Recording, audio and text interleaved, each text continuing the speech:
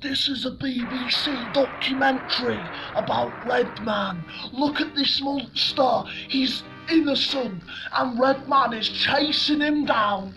Oh my gosh, this is gonna go crazy. Look, he just jumped. Oh my gosh, Redman's a total jerk. See, the monster's resisting. Oh my gosh, Redman, just leave him alone. Redman, stop. Redman, seriously, stop. Oh my gosh, look at these bludgeoning hits. Oh my gosh.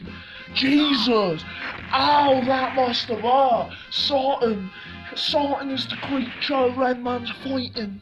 Oh my god, they're battling. Yes, Redman got slammed to the ground. Now, he's just rolling around like a stupid idiot for some reason. Now Sartan's attempting to stomp on him, but Redman just kicked him off.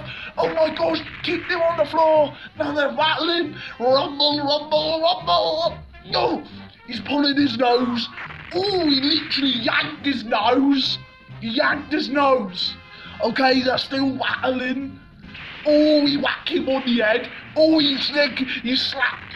Oh, he slapped him on the head. Oh my gosh, Redman fell.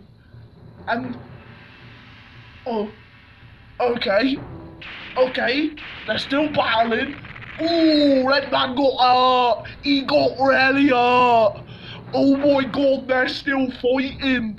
Oh my gosh, this battle is so lame. Wait, it isn't lame, it's very cool. Oh my god. Oh, look at those bludgeoning blows to the head. Oh my god, that must have been so much stuff. Oh, he got slammed to the ground. Oh, he's just rolling like an idiot.